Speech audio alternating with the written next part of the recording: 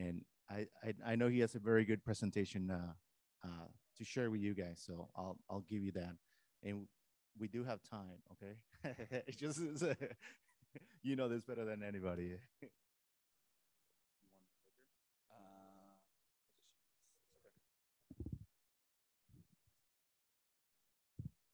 Okay, can, uh, everyone hear me, hear me okay? Yeah, I guess. Okay. So today, um, I'm going to talk about something that, uh, um, I've, I've kind of been seeing in the industry. And, um, I think we're at an inflection point of the industry of computation and how it impacts our business. And so um, I show a slide here. I pulled out some slides from when we first started our team in 2011.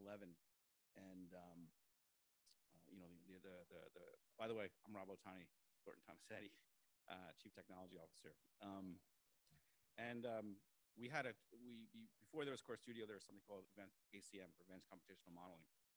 And this was like, we had just, myself and Jonathan Schumacher had just learned Grasshopper from, uh, uh, from the Mode Lab crew in Brooklyn, um, Ronnie Parsons and Gil Akos. And uh, Grasshopper was relatively new back then. And it, but it was like so exciting. Like we could do so many things with this. And like a million ideas came out of what we could possibly do. And one was interoperability, which is still an issue, but we knew that was a problem that could be solved using these tools. The other was um, sustainability and embodied carbon. And we were doing embodied carbon tools back in back then, 2011, using Grasshopper because we could. And so the, ti- the title of this, this presentation calls "Jump on the Slope of Enlightenment" because um, it will it'll become clear later. But I feel like we're at an inflection point of like we have a mature set of tools. We kind of know the trajectory of those tools. Um, but I feel like the industry has not fully understood the, the impact of the culture of technology. Um, so anyway, that'll become clear a little later.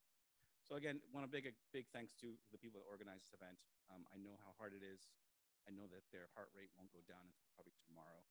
So um, just uh, again, big shout out to, to, to these folks. Um, the team, I want to give a big thanks to the team as well.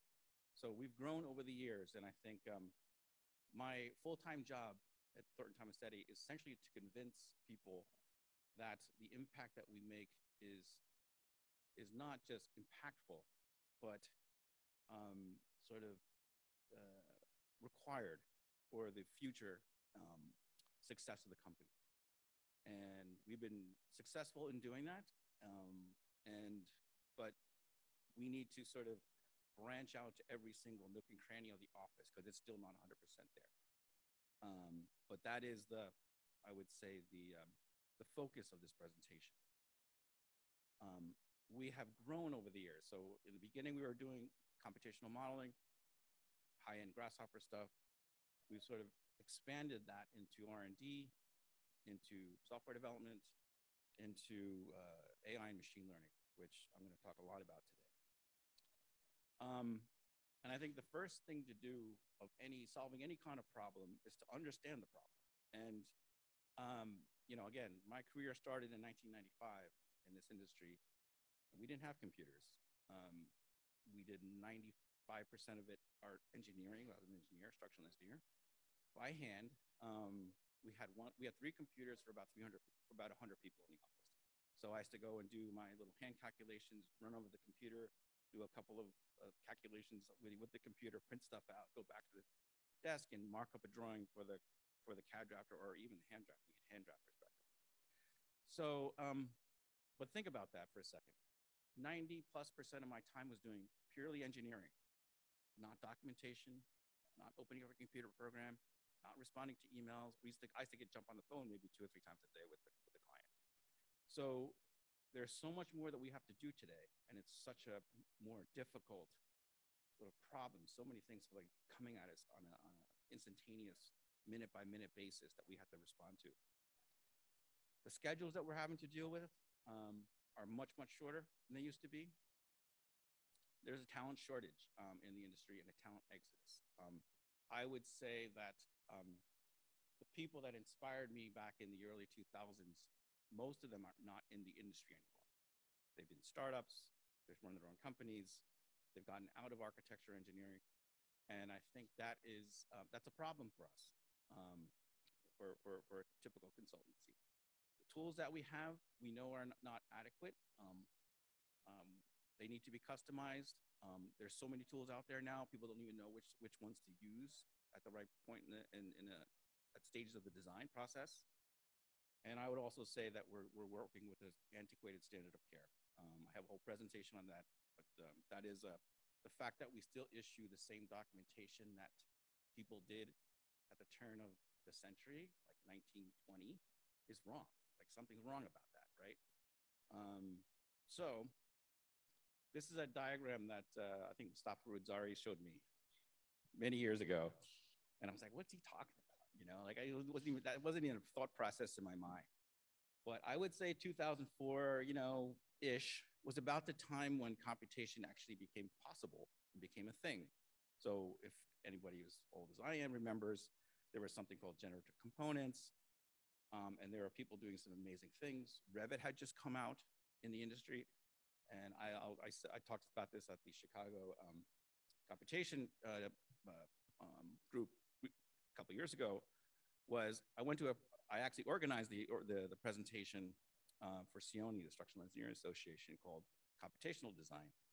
And we had we had Ian Keogh, we had Dave Fano, we had Steve Sanderson, uh, uh Federico Negro, um, Onur Gün, um, Neil Katz, all these sort of pioneers computational design. And I was like, holy shit, I'm a dinosaur, you know, compared to these guys. So, so that's sort of like was my trajectory into, into computation. And I feel like we, where we are today is at this trough. And I'm seeing this all over the industry.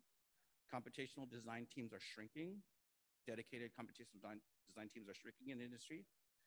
There's a lot of people going out of the industry.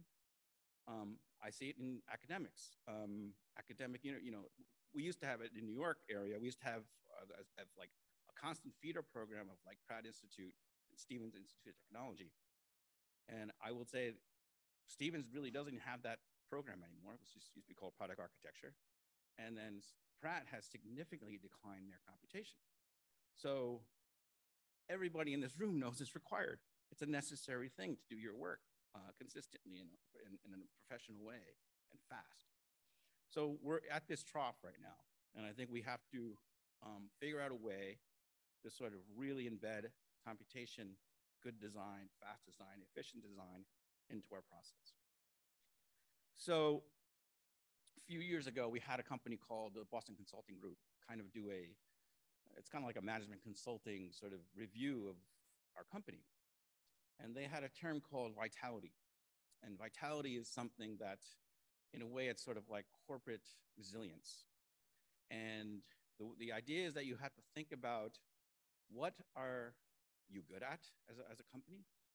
what is the trend of the industry going and how can you future proof your company so that you can remain you can start an upper path of where you are and the best example that i remember was that, that they used was um, the most profitable profitable year that kodak had was the year before they went bankrupt and the reason is is because they actually invented a digital camera but didn't really understand that that was the future so companies like Fuji, like bet the farm on it. They went up. Kodak went bankrupt. They bet on film.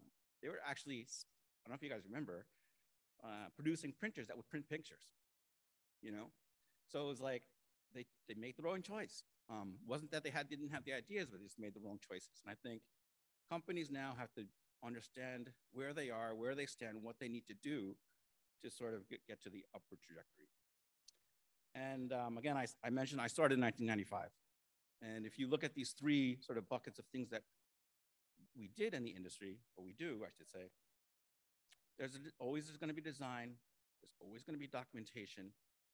But simulation, I would say, we did very little of back in those days, right? It was like architects was very rule based, it was very like experiential.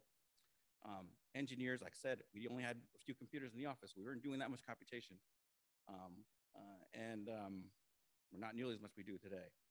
But all of those things have like exponentially increased. And so the problem has become much harder. And in those days, you had two uh, sort of like personalities in the, in the office. You had designers and technicians.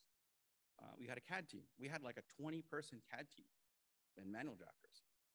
And I would say what has happened is the technician has disappeared. It doesn't exist anymore.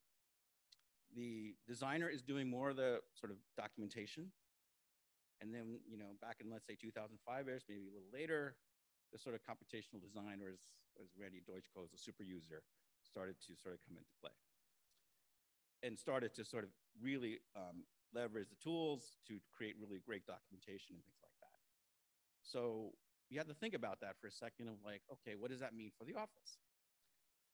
Um, so the other thing I would say is, is a problem is, I don't even know if that's a word, but robotization of designers. So again, as I mentioned, I did very things by hand. And so in order to optimize our process, we had to think very thoroughly through the process of like, how can I optimize what I'm doing to do the least amount of work in the fastest amount of time? So, but today, I would say architects and engineers are becoming, are starting out as basically robots. They're pushing a lot of buttons, not necessarily thinking about design, no, just knowing that they have to do a million things to get documentation on the, on the drawings. And that's a problem. Um, that's a real problem because they're spending the majority of their time documenting and a small amount of time actually designing. Um, that's not what we need to do. Um, it's a waste of time and it's a waste someone, you know, someone with a degree from Harvard or something, GSD doing like laying out toilets and bathrooms is probably not their best, um, you know, time, uh, time spent, let's just say. So engineers as well. So like I see it every day. It's like we're designing one beam. Oh, I'm going to open up a program. You can do this design in like you know two minutes on your on you know on either you know a pencil or using Excel or something. They go right into the program. They're not even thinking about it. Um, so it's a problem. And, and, they, and the answer is the answer probably is sitting next to their project manager, just like, what is the answer? Like they'll give it to them. Um, so that's another problem. So what we've basically done is sort of say most firms have done is basically just kept the same model and had a little team in the corner doing this cool stuff for marketing purposes or for doing certain things. And I think we need to change that process, change that organization such that the majority of the firm is um, extremely sort of adept at doing the computation that is required to do things fast and thorough. And I think also, particularly for the larger firms, you need to customize your workflows. That is the sort of, uh, I would say, the what makes, you know, let's say ASGG or makes Perkins and Will or makes Thornton Tomasetti unique is how they do their work. Um, uh, and what they produce. And that I think needs to be customized. So the other thing I would say, which is a risk in our industry, is that the inefficiency that has been sort of going on in the last you know 15 years or so is that um, there are tech companies now that are basically starting to sort of collapse into what we do. So I was talking to a tech startup recently um, who said, um, in 10 years, um, an owner will use a configurator to design like a DD level set of doc design documentation. And they'll tell the architect, design that building and stamp it. And we'll build it. So like, um, that is a big risk, right? It's like, what does an architect do if they don't do design? You know, they don't want to do documentation. So the other is issue is that, you know, these modular companies that are coming in and totally makes sense. They're replacing the architecture and the engineering. It's all pre-configured. I want a building with a thousand units. Go to their website, configure their building, send it to the contractor. It, that's it. You're out of the equation. We got me have to stamp it or something. But that's a real thing. Um, construction companies, I know that Suffolk has a has a group called Illuminate, and they're building configuration, design configuration tools. And they look, they they they see the the risk too because um, construction, traditional construction managers actually don't construct, right? They actually manage the process. So, um, um, So if there the, the assemblies or something come in, or there's pre-configuration design and fabrication type things come in, they're out of the equation. They actually hate uh, modular, by the way, because they get paid for time and they get paid for coordination. Modular is faster, it's fully coordinated, they're out of the equation. So we have all these things collapsing in, and I would say we're doing the same thing. We're creating these tools that sort of um, automate certain processes. And by the way, that's that's kind of my job, right? Is to dis- disrupt ourselves, and I think that's what kind of what I'm proposing actually. And so there's the you know traditional art, traditional designer in the middle, getting squeezed by all different angles. So, so how to vitalize? Um, every firm should have a CTO, or at least a, a larger, the larger firms. There's only, as, as far as I know, there's only three. It's myself, it's Hilda from HKS, and um, Alex Pollack from FX Collaborative. You think that, and everyone's trying to like cobble together the CIO's roles into a CTO. It's, it's two completely different roles. The CIO sort of keeps the plumbing running. The CTO is the strategist. Like, what is the software we need to do? What is the software we need to build? Um, you know, what are the threats in our industry when it comes to technology? And there's a lot, by the way. Um, so, you know, this whole cyber stuff is sort of like we've had to spend tons of money on that. so, guess what? The, these firms are seeing tons of money going to technology. Well, we already spend a lot of money in technology. But um, if they're not using technology to actually improve their process or to make more profits, it's a huge mistake. Training is a big issue. Um, we need to have our firms, our, our, our, our designers upskilled significantly. Um, and I'll get to that a little later. And I think there needs to be a computational design culture. Um, you know, I think uh, one of the, I would say, problems in our industry is that a lot of people running the firms don't understand it. And therefore, they sort of are afraid to leverage it. They don't want to be, they don't want it to go wrong. It has gone wrong in the past. Um, but if they don't view it, they're going to be out of business. So that's that's sort of like, but we need to keep that culture of of, of, of miniature successes uh, to build a build a company. Um, as I mentioned, I think you need to have customized tools. Um, I think it's been a huge benefit for us. And sometimes we're, we're at the point which is actually a success. People don't even know that they're custom anymore. They just use it every day. And then R&D, I think um, people in this room are always thinking about the next best thing. Um, which I think is super healthy. And if they don't have that access to thinking about those things, they're not thinking about how to solve company and the, and the industry's problems. So how to do that? I think it is to have very specific tools built for the various aspects of the project. There's not one tool that does everything. Um, and we can, by doing that, we can actually expand our services. So I've been I've been proposing, and we've been doing this, is to we do our own takeoffs. Um, why have the contractor go through our set of drawings and figure it out? I know I know exactly what's in the building. I know exactly it's supposed to be there, so we just do it. Um, we're doing fabrication drawings now. It's like own your design. Don't let don't you know that's like that's what it used to be. Is like, well, the contractor figure that out. That's where all the problems start. It's like just do like do an LOD 400 for the really important things that you're interested in.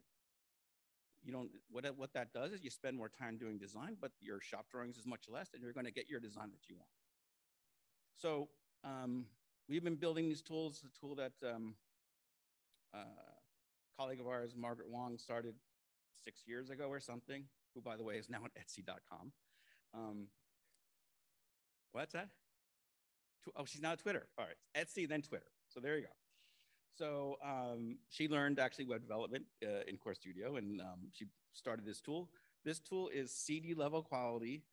It's better than any software out there, and it's it looks like it's one bay, but it actually does nine different bay types, corners, interior, exterior, etc. And so it's a fully trusted tool. We we benchmark against this the Bentley tool. We're within one percent. That's a CD tool. So huge, we've been building uh, Revit tools since 2000 when we first started using it. We got 80 plus tools. People use this stuff every day. They don't even know it's custom anymore. Um, we have a whole toolbox for SAP 2000 using Grasshopper. Um, and um, again, there's only there's still only a subset of the of the engineers using Grasshopper, but that's growing. and they can do parametric design now in their favorite software. This is a tool that we worked on for two years, Shearwall Design Tool to CD level quality. It has every button in the, in the planet you can think of. And uh, we just, we're doing some, this is an, this is an alpha essentially, this one's beta, actually it's beta. And uh, one of the engineers was telling me he did a 40 story building in under two hours from start to finish um, to CD level quality, which is insane. I can tell you from my experience designing a shear wall, traditional methods, just one, that is, this does it instantaneously. Um, not instantaneously, but you know, after you, you put all the inputs, um, takes days. So from days to hours, it's a huge impact and huge difference. We have technical fabrication tools. I'm not going to go through the video fully, but basically it does. We've been building those tools since 2014 and instantiate steel connections to uh, fabrication level design. Again, in under couple minutes, um, we sort of poured over the shears from our analysis models using our Konstru platform. Um, and then that's all it looks for is the shears, and it, it, it, it uh, instantiates all the connections, uh, all the connection plates and bolts and all those things. So again, we have a very small team, but we can do a ton of work um, with the small team. So you can see all the connections are, are instantiated in that, that model. Um, in 2017, we developed something called Spotlight, which is an in takeoff tool. Um, again, I was, we always been asked, you know, um, in, the, in the old days, we would have the, the estimator would do the takeoff and then we'd have to check it. And I'm like, why do we check it? We just do it. Um, and so this, from the Revit model, does a quantity takeoff, does a pricing model, as well as embodied carbon.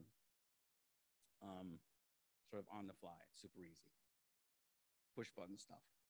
So um, the machine learning part, um, I've been telling engineers that this is the new Excel. So when, when I started my career in 1995 and I was in grad school in 1992 or so, um, we had something called, well, even before that, it was something called Lotus Notes. And then we had something called Quattro Pro.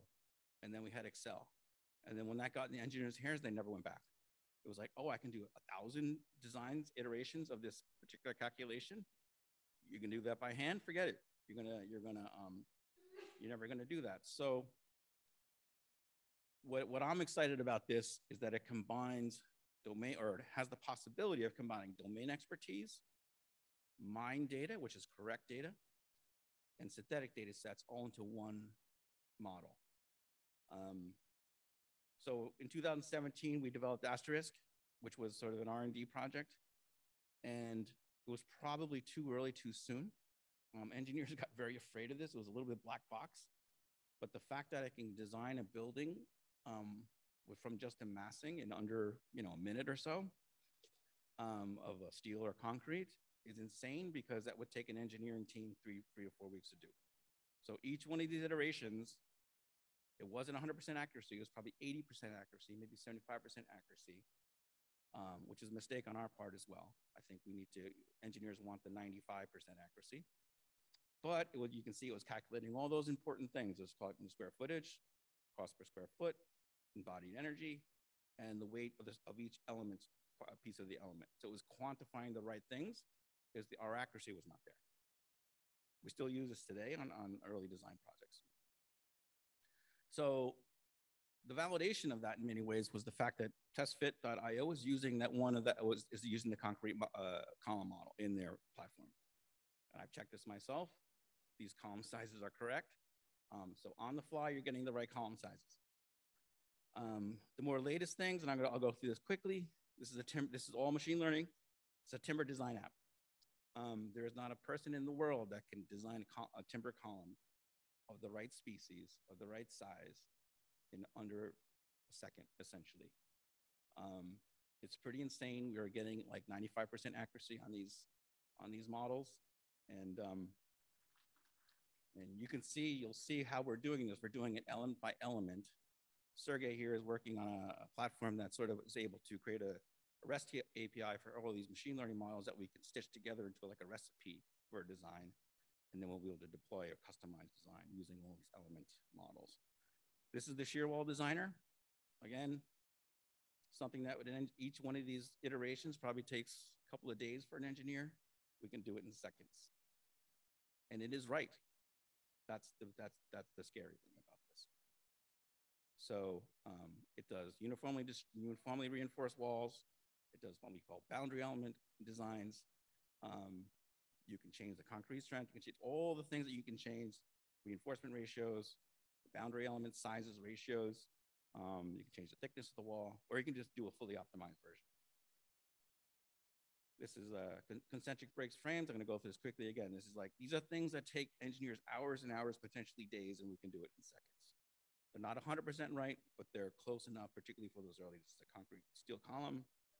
Uh, so because the data from this, that Bay Design app is trusted data, we actually exported that encoded uh, algorithm and the data associated with it to, uh, to a structured database and created a machine learning model from that and so this is doing vibration controlled office level, uh, you know, 0.5% G, which engineers would know out there, um, in like instantaneously for, for, for a full, full bay design.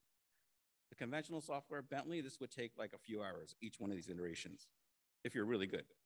Um, I tried, I tried it myself. It's so painfully slow that it drives me crazy. So um, anyway, you can see this is doing some real real engineering here. And so the culmination of that is that we can do these iterations of designs. This is a steel, concrete, and timber building. We're calculating the, all the member sizes, the weights, as well as the embodied carbon on the fly. And we can do that. It's not like we need to spend, take, you know, two, three different engineering teams to do all these three typologies. That's what I think the future is going to be. And I think um, our industry needs to figure out, or our firms need to figure out which way they're going to go. If they hold on to the old ways of doing things, they're going to be out of business in a few years um, for many reasons. So um, this is not meant to scare anyone, but it, we're, we're, at, we're in a reality now. It's like the people in this room understand that. I think it's got to get raised to a higher level. Thank you.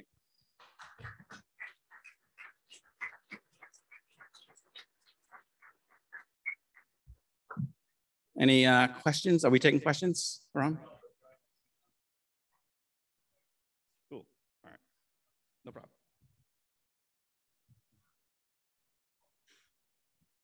All right. Thank you, Rob.